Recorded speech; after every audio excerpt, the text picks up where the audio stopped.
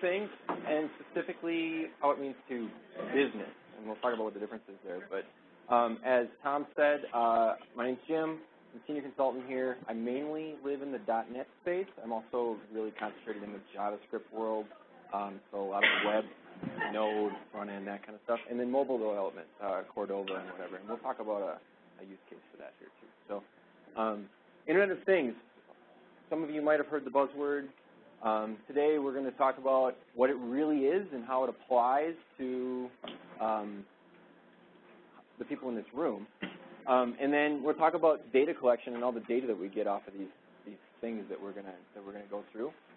Um, and then things to consider about that data collection. And uh, I'll get into a real world, world example of uh, some work that we did, a project we did for a client here on their IoT project and what it meant for them. Um, and then we'll have a little Q&A. If there are any questions, if you have questions during, you can certainly type in, but if you want to hold it till the end there, that's, that's fine too. Um, so to dive right in, the question is, and it really depends on the familiarity, but what is this, this term that we keep hearing called the Internet of Things? Um, the, the key form here is that it consists of things, these little devices or instruments or whatever that are all over um, and deployed throughout your environment. Um, and what are these things? I like to put them in three categories, or really there's two categories, but um, there are consumer home devices, which you probably are all familiar with. There's Kickstarter gadgets. If you've seen Kickstarter projects, about Kickstarter projects that, that hit this IoT space. Um, and then there's industry-specific devices, which is, I think, what most of the people in this room are concerned with. Um, and we'll talk about how those relate and what we can use, how we, how we can use those things. Um, but where are we today with the Internet of Things? Um, this is a little hard to see, but I'm going to show you with the with the pointer. This is this is the uh, the Gartner um, the, the, Gartner hype cycle. And if has anybody seen this before? But what this is is this is Gartner has a it's not scientific, but what they say is each technology that comes out goes through a, a life cycle of an innovation trigger or something that some technological breakthrough that comes out that says, hey, this is possible. Um, and then there's this peak of inflated expectations, which is all of these cool ideas come up. We can do all this sweet stuff with this new technology. And then once that peak happens, we fall down into what they like to call the trough of disillusionment, which is a little, it's not as bad as it seems, but there's this lull where you come off this peak and you go, oh, that stuff didn't really work as I planned. And then we go into the slope of enlightenment, which is where we like to start saying, we, we kind of get our grounding and we say, well, all that stuff didn't work, but we can figure out what we can do with this. And then the plateau of productivity, which is out and beyond, where this is major mass market consumer devices, industrial devices, and it's just a repeatable, known thing. Um, let me rotate this a little bit. So what, where we are with Internet of Things, this chart here is um, actually about a year old now. They, this, is, this was published in July of 2015.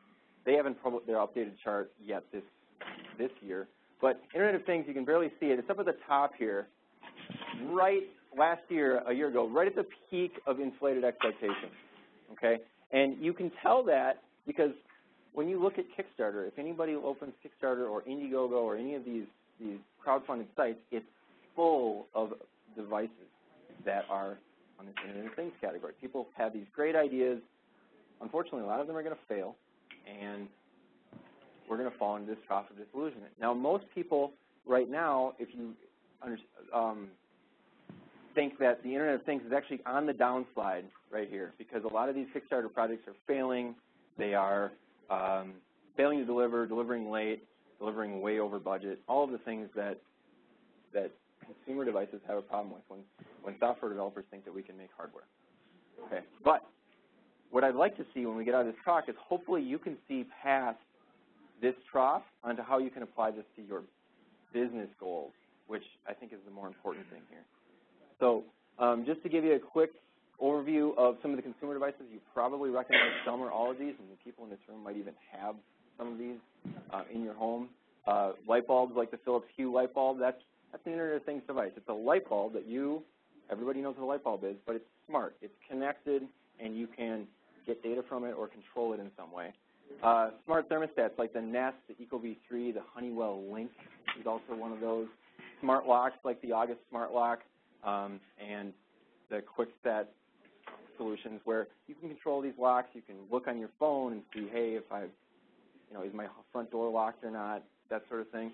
And then even other stuff, sprinkler system controllers, weather stations, slow cookers, official crock pots. You can check and see if your, your slow cooker is cooking while you're at work and the temperature and all that stuff. And there's, there's a million of these types of devices. Um, and this is your smart home. This is Internet of Things that targets your smart home. Key point I want to say here is that all of these devices have a business model and sometimes even an entire company. Those are the Kickstarter companies, like, uh, like August, built around them. Uh, but this isn't what I want to necessarily talk about today. What I want to talk about today are the industry-specific devices that we will call Internet of Things that I think will help.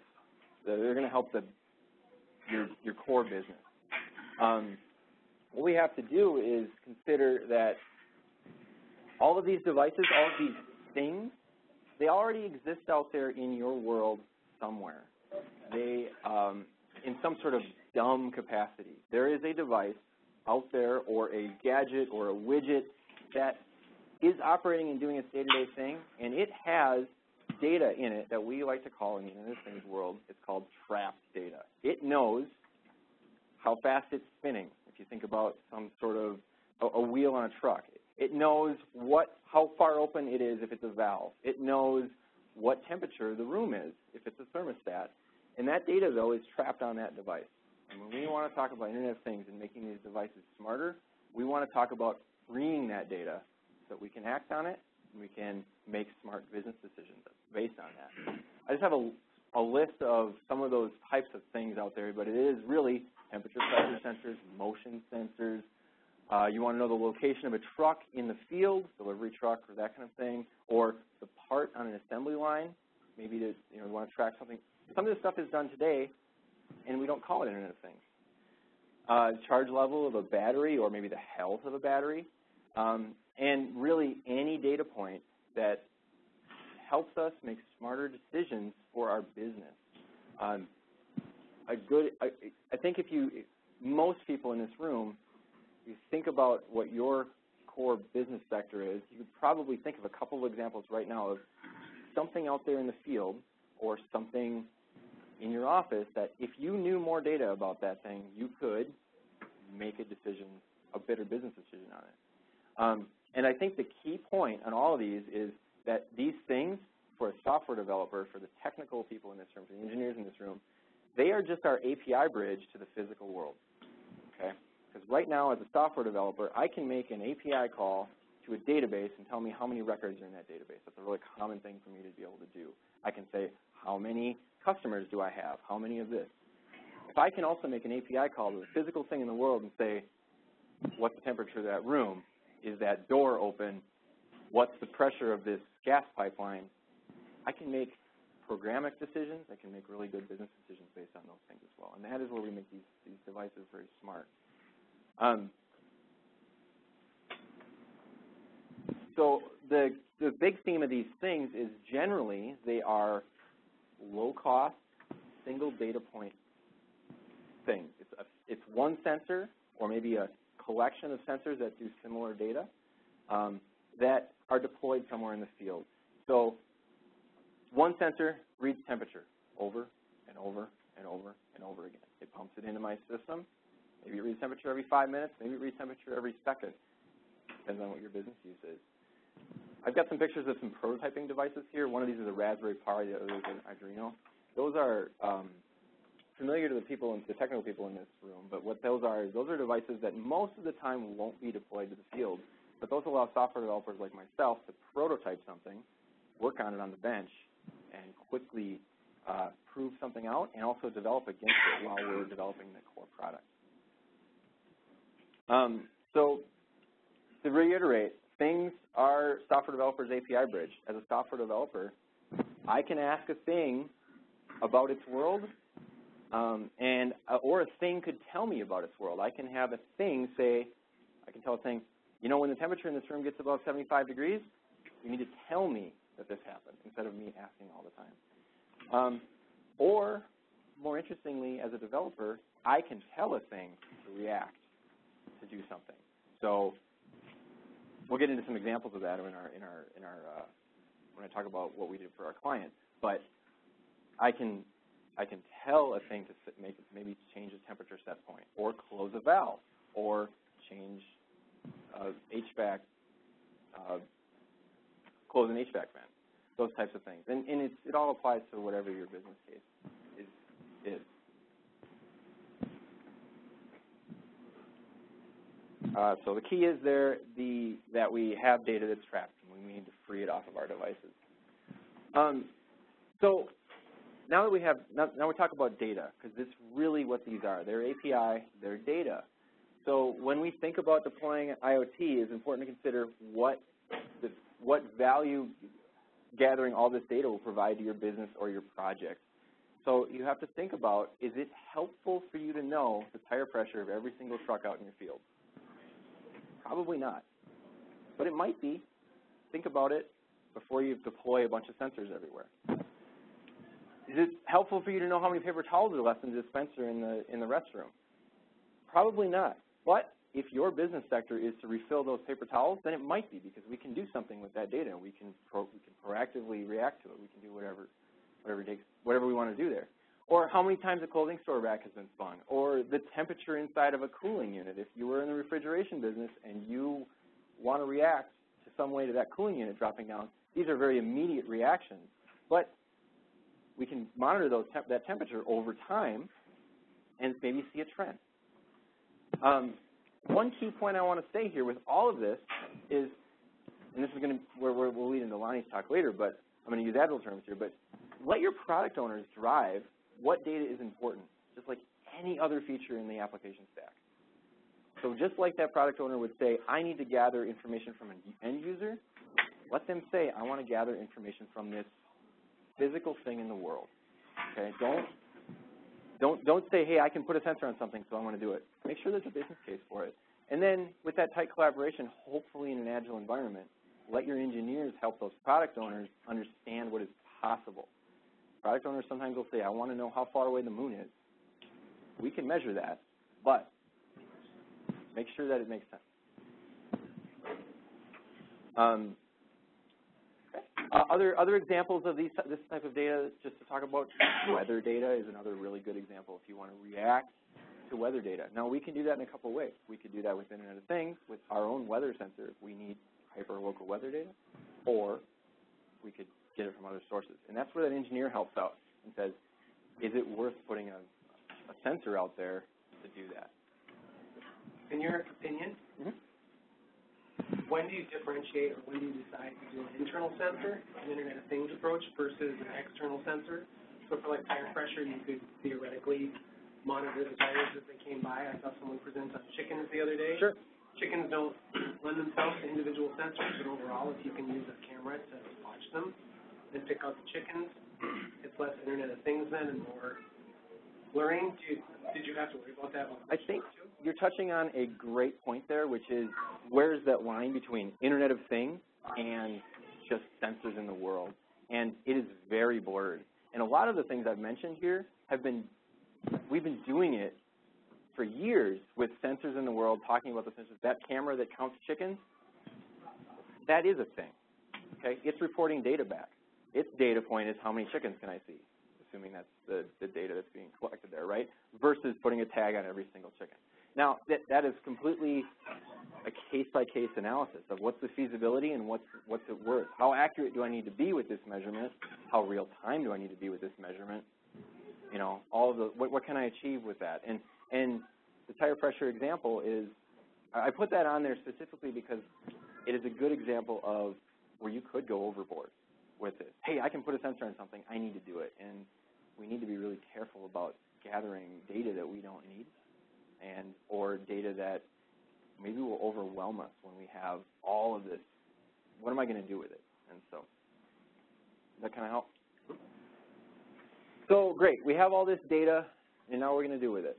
We, you can imagine a case where I've got a bunch of sensors in my physical world that are, maybe I've got 10 sensors in my, in my, in my office building that tell me information about the HVAC system, okay? That's not a lot of data. We can collect all that data. We can work with that data. But imagine a scenario where I've got thousands or tens of thousands of sensors out in the world pumping out data, little thing. Let's just use the sense, let's just keep with the, the temperature example. If I have tens of thousands of sensors all over my, you know, international company all over the world pumping in all of this data, we are starting to get, we're not starting, we are in this, what, what's the buzzword of big data territory. And I think that's the most important thing about Internet of Things is we can end up collecting a lot of data very quickly, and we need to consider a lot of things that you now consider because it's data is data, and it's the same as if an end user was entering this data by hand into an Excel spreadsheet every hour, or if the sensor is pumping it in. We end up with a lot. And so we need to consider what needs to be stored, what can be purged. Some, some data is only interesting for a certain amount of time or a very short period of time.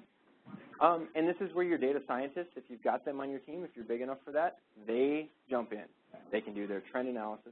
They can work their models. They can, um, and they can really help understand what it all means. Big warning here, I think. Don't collect data you don't have a business case for. That goes back to that product owner piece. Okay? Make sure that you've got a user story in the Agile world or a or you know a requirement that says we need to collect this type of data. Don't just start collecting tons and tons of data because if you put a temperature sensor out there that reads the temperature of this room every five seconds and just start it, it seems like a lot of a small amount of data, but you will end up with a huge graph of data that you have to work through. Um, so, and on the point of, of purging, some of this data is going to be useful, and this is just kind of on the big data concept, for long, strategic business planning. Think sales forecast, think purchasing, think maintenance of tools. So if we if we're measuring the say the PSI in a in a gas line or something like that, and we see that it's dropping, we must have a leak somewhere, something like that. That's maintenance that maybe we can do something preventative instead of you know having a catastrophic failure down the road. Some of that data is long term. Some of it's very short term. Some of it is, I need to know if the temperature spikes, and then I'm going to act on it, and then we can delete that information. So really, really keep that in mind when we when we're talking about storing this data and keeping it in place. Um, I do want to put a, I put a slide up here. I do want to put a, a caveat on or something to consider. We do need to consider things about the data collection first and foremost, you do want to have the conversation of who owns this data that we're collecting. And it depends on your business segment. But if you are deploying a device that's a retail customer selling device and it's collecting data, do you own that data or does that customer own that data? Did that customer submit or did that customer agree to submit that data back to you? You've probably all seen when you've installed Microsoft Office or OS X or OS 10 like there's that checkbox that says submit anonymous data back to Microsoft so that they can do whatever measurements they want on it. I'm seeing smiles back there. I know that some of you always uncheck that. Same thing applies here. If you've got a device that you deploy to a customer, a paying customer, be aware that that isn't really your data unless they want to share it back to you. And then on that note, does the customer want that data themselves? So if it is a retail product, that data could be theirs. Do they want it? Do they want to be able to mine it? Do they want to be able to stick their data analysts on it? Or have you build a UI so that they can work through it? Um, and if it's your own device, internal, your truck, your tires, oh, that's really no problem. Um, security of that data, important. But what I will say is, this is a cat, this is a big but, but um, it's not really much different than anything else that we're dealing with today from a security standpoint use the standard practices of the web, use, use TSL encryption, use SSL, use key signing, use whatever level you need to based on what that data is and how important that data is. Um, some of this data can get really personal, and some of it cannot, depending on what you're, you're tracking. Um, and then whether it is personal data or not, this last point, the volume of the data that you're collecting with all of these devices can actually feel, it's a perception, but it can feel very intrusive to the people that are around those devices. Um, and because it's collected very passively and in, can be in mass amounts. Um, a good example of that to me actually is, and this is Internet of Things thing that we've been doing for years is, you know, you've got all those, you've got ID badges on your car, on your magnetic ID, or not magnetic, RFID badges on your, to get into your office building, right? We track those. We, we have the ability technically to track where you are in a building. Do we do that? Mm, is it worth it for the business to do that? And that's the same thing here. We collect that data passively, and, and a lot of it. Um, another note on the security side, these devices that you have out there, whether it's a sensor or a camera or whatever, we want to treat them like client devices just like we treat a mobile phone application or a web application, is that we never really want to trust them. They could be, they're unreliable, they can be compromised, they can be messed with, all that stuff. So we want to have all of the standard practices that we would put in place for a mobile phone application, for a web application, for a client desktop application, apply to these individual devices as well. I'm not getting into total the details about that, but just to know that that space applies directly to one of these devices. Can't really trust it, but we want to, you know, we want to trust it, but we just, it's, it's once it's in somebody else's hands, it's not ours to, to trust. Um, and then speaking to the unreliability of those devices too, they they're going to come in and out. They're going to, so we want to be um, not security so much as just consider about the fact that you're going to get blips likely of, of these devices as they check in, give you a bunch of readings, and then they check out again.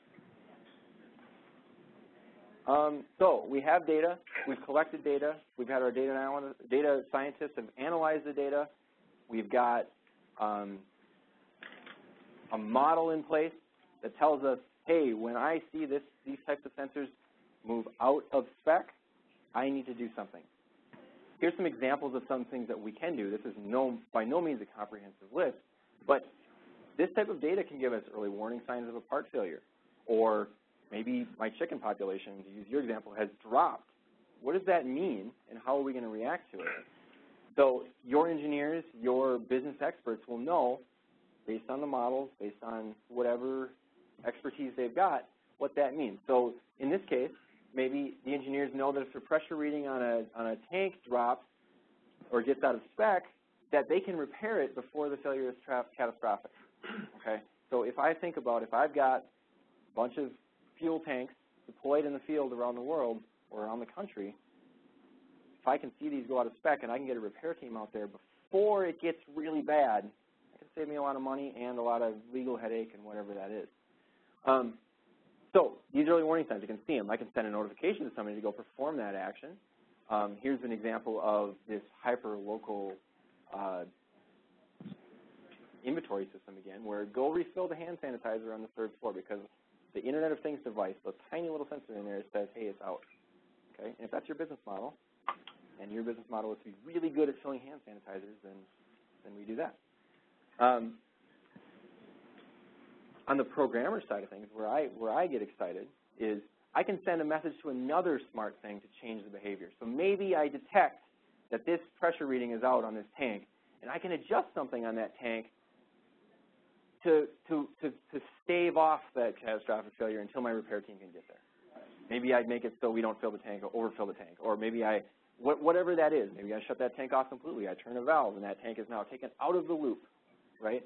So I can send another a message to a different smart thing, and we'll call that thing the valve in this case.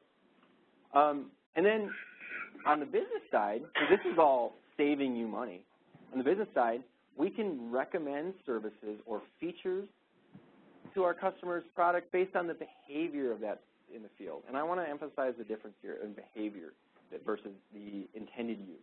What we're going to learn when we put Internet of Things sensors out on all of these devices and things in the industry is that products are not always used or uh, the how we intend them as we designed them and tested them, right? We know this, but what we can do is if we get this big data around this, we can start to see that it's being used differently.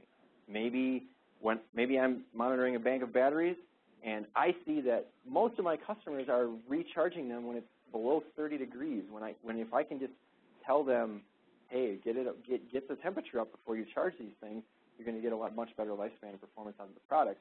That's a value add. That's maybe a feature or service that we can add on. That's also maybe something we can build into the product in the future and then cycle that through to the product owner, into the backlog, and Lonnie will cover that stuff. um, let's see. Yeah, so behavior, very important. We can see that. All right, so real world example. Real world example here is this is what we did at Intertech, or what I did at Intertech, was we had a client that they're, they're an electrical client. They charge batteries.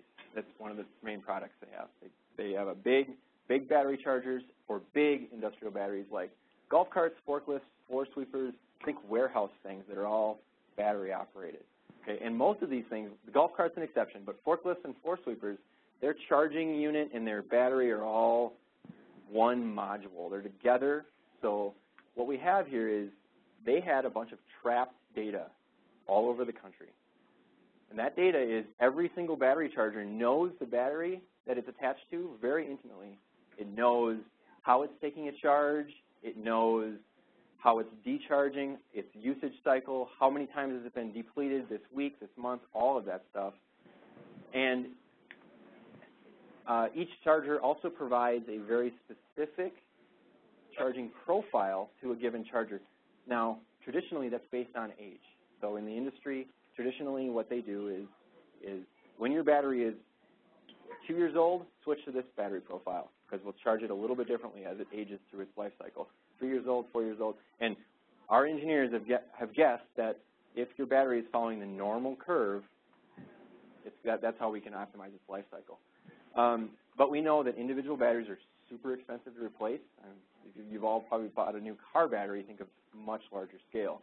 Um, and so if we can even increase their life cycle by 10%, 20%, it makes a big difference on these warehouses that have hundreds of them.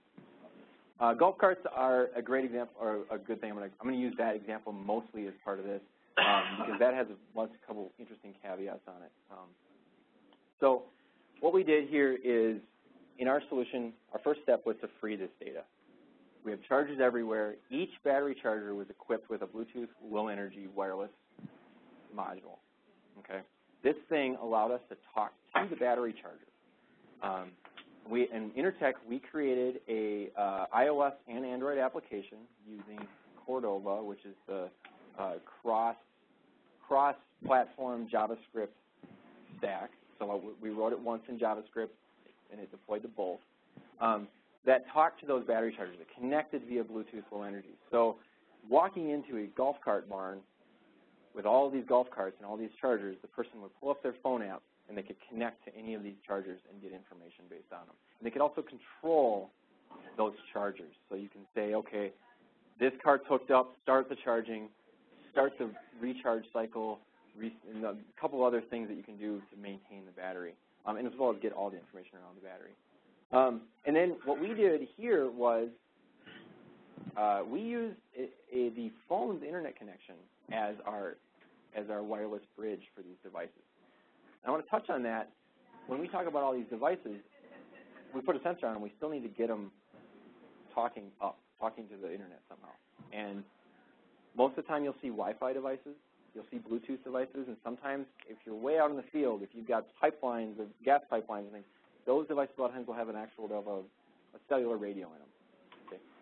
You can imagine the price per device goes up as you as you work up how restrictive your connectivity is. We use the inter phone's internet connection because these are Bluetooth devices and they can't get to the internet by themselves, so we hop through the phone. Um, every time that the phone talked to one of these, it would pull the charge history data off of this charger, send it to the cloud. Send it, we use Microsoft Azure Cloud Infrastructure for this, but uh, we could send it to any cloud infrastructure, as you can imagine. You can send it to your own on-premise infrastructure however you want to get there. Um, and we did this every single time they connected. So somebody would walk into the cart barn and they would connect, and then it would it would uh, pipe it up there. Um, and then, as you can imagine, without getting into too much details, that charging information, that charging history of a given individual battery gives an electrical engineer a whole lot of insight on that one battery. its life of it, its health of it, and everything. So we allowed them to act on that data then, and that is where the turnaround was. We gathered the data, and that's such a simple piece compared, but they wanted to act on that data.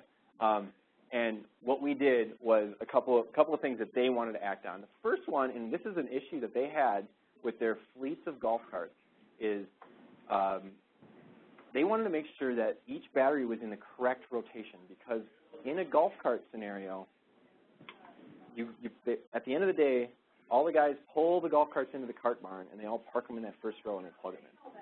They're supposed to then, the next day, grab the carts from the way back and pull them back out so that the batteries get evenly used. They don't. The next day they come in, they pull them from the first row and they put them back, and then they put them in the first row, and they and those first 15 carts get used over and over and over again, and the ones in the back didn't. This allowed us to see that, and this allowed the client to see that, and the client client, which is the golf course, to see that and say, hey, these batteries in the back row are never getting cycled, and that's incredibly bad for these batteries. They need to be cycled because these are lead acid batteries. Um, so this allowed that, that action to happen very quickly and very easily.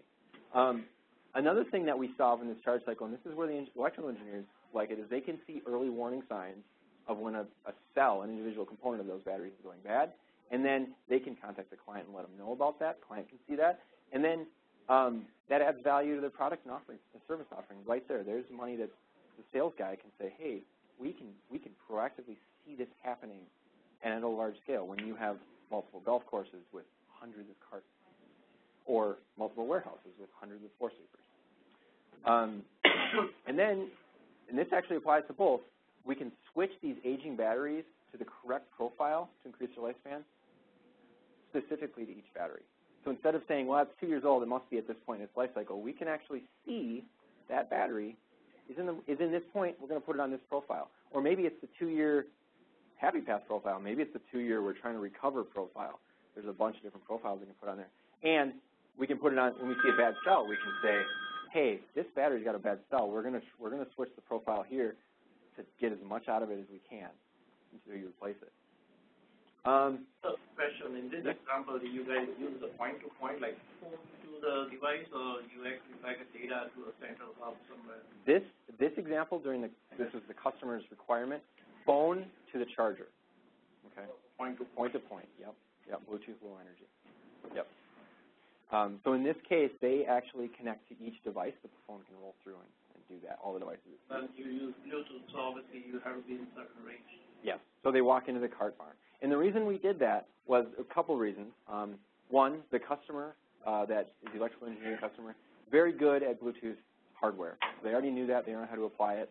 So it was very easy for them to add that hardware to their chargers. Uh, the second point was, in their experience, most of these cart barns, in, in, in their customers at least, they are so far outside the clubhouse's Wi-Fi range that there's no data connectivity there. So we needed to just, we needed to use that phone as a bridge. And same with a lot of the warehouses. When you get into these big warehouses, there's no data connectivity inside the warehouses with metal shelves everywhere and stuff. You got to be right there with the device. Yep. But you could imagine a scenario where there would be a centralized thing that lives in that warehouse that talks to everything as it pulls in, or talks in the cart barn and talks to everything that pulls in. And that would be the same model, just a little bit different deployment. Yep. Um, and then what we got out of this whole project was this allowed the electrical engineers to see real-world sample data from the profiles that they were developing and adjust them as they see fit, which is really exciting to see. This is more on the tech nerd side, but they were able to see these profiles that they were developing and testing in the lab and working the mathematical formulas out on. They can see that and say, wow, I've got 10,000 batteries out there, and here's how they're actually acting. there's the big data. There's the, there's the data scientists coming in and they can they can adjust their profiles and really fine tune them and really make them good, um, which is another big value add for the client. Um, so in the end, with this project, we were able to turn dumb battery chargers that are not able to communicate with their can communicate their local data. It was trapped on those things um, into IoT smart internet devices. Uh, we used the cell phone as the data bridge that allowed us to get the connectivity to places that were hard to reach. Um, like I said, those cart barns, uh, there was just no connectivity out there. So cell phone is a cheap way to do it. And also part of their research was the reason we did that was the guy who, the, the guy, man or woman that was responsible for parking the carts, they always, they would just download the app on their phone and then they would have it and they would use their data plan and they were cool with that because it's just a little, little blip. Um, enabled the visibility in the battery charging all over the world and in all this different situations, and it gave those electrical engineers this awesome view of this data that they never, never had had before. And that's where that product owner can say, we see this trap data out there. We want to be able to get a hold of it. Um, and in the end, this solution was very simple. And I say that from an implementation standpoint, but I say that from just the stack. Very simple. The data collection was very targeted with a very specific goal. It wasn't a, we want to collect all the information from all of our stuff everywhere. It was, we know what information we want from what devices where, and, and, it, and we know the business value return from that. Um, I'll, I'll turn it over to any questions, Q&A section here. Just out of curiosity, how did you know which battery the charger was hooked to? Good question. So two ways. Uh, in a warehouse scenario, floor sweepers and and forklifts and that, they're actually hard mated. Battery and the charger are mated together. Okay. Um, in the golf cart scenario, some of their carts, not all of them in, the, in this client, uh, but um, there was a data there was a data channel between that and the battery, and the battery would in, that battery would bring back its serial number, and so we had that. Um, in other cases, it was hand entered by the person. When they plugged the card in, they would plug in, they would type in their I plugged in card 47A, and we had that database to look that up. Yep, but excellent question. Now I have just a general question about databases in general. Do you see a move towards more unstructured databases with this? It it depends. Right. Absolutely sometimes this data is unstructured because sometimes when I talk about a individual reading from a sensor, temperature 70 degrees, 70 degrees, 71 degrees, 72 degrees, 70 degrees, that can be unstructured, sure, but a lot of times that data still has some relational components to it. Where is that sensor? You know, what region is that sensor in? What is that sensor actually mean? All that stuff, that's the that's always the problem with unstructured data is you very quickly run into relational data and then we end up with a scenario where we're trying to cram relational data into these unstructured databases. So I don't think this, in my opinion, really changes that conversation. It just brings more data into the world, and we need to be able to deal with it. And a lot of times, we bring it into very structured uh, things, you know, cubes and stuff that are very structured, so our, our data analysts can make models off of it. There's a paradigm, too, for like when this gets to be very heavy, when there's a lot of it. Right. I don't know what they call it, fog or mist or something, where there are actually like local hubs Right. That take it and put it back into a structured format Uh, and pass it up. So Yeah. Yeah, I didn't talk about the collection so much. It gets very technical. I didn't really want to dive into the technical implementations of it. But there are, you, a lot of times these devices report into a hub of some sort, and then that hub will shuttle the data to various places based on what that data is. It'll actually make a decision. So if that data is in some sort of alarm mode, it might go over here and here. If it's just in collection mode, it might go here. Strip and filter Yes, exactly. And those are generally, you write SQL-looking queries against that to build those filters. Uh, A- Azure and Amazon, and they all look very similar in the way they act. Um, when, when you're communicating with an IoT device, how does it um, um, um, um, authenticate that it's being talked to by somebody that trust? Yeah, so there's a couple models for that. Um, a lot of times what we have done, so in, the, in my example, we knew it was a trust because we were there and we wrote actually a lot. It's Bluetooth Low Energy, we had some key exchange. But a lot of times there's a pre-shared key that happens or maybe a pre-signed key. So when you deploy that device, it's shipping that key back with you, right? Um, or some pre-shared secret that those devices are, are known for. But most of the time we issue a key per device and then that key comes back with that. And so use the asymmetric key model. Yep. Um, and that is the way that the Microsoft Azure Hub is built. It's built around that. So the question on your real life example to clarify the IoT concept.